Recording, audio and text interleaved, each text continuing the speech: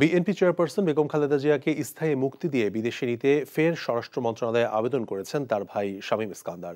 গেল ছয় মার্চ স্বরাষ্ট্র মন্ত্রণালয়ে আবেদন করা হলেও তা জানা যায় আজ। খালেদা জিয়ার একান্ত সচিব এ বি এম সাত্তার আবেদনের চিঠিটি স্বরাষ্ট্র মন্ত্রণালয়ে পৌঁছে দেন। শামীম ইস্কান্দারের করা আবেদনে উল্লেখ করা হয়েছে, বেগম জিয়ার জীবন অত্যন্ত ঝুঁকিপূর্ণ এবং জীবন রক্ষায় দেশের বাইরে নিয়ে উন্নত চিকিৎসার প্রয়োজন রয়েছে।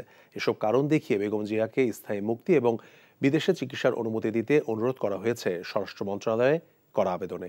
তবে স্বামী ইস্কান্দারের চিঠিতে এখনও আনুষ্ঠানিক কিছু জানানো হয়নি স্বরাষ্ট্র মন্ত্রণালয়ের পক্ষ থেকে।